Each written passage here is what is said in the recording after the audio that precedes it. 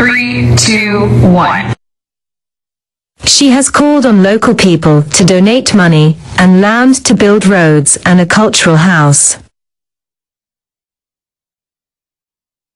She has called on local people to donate money and land to build roads and a cultural house.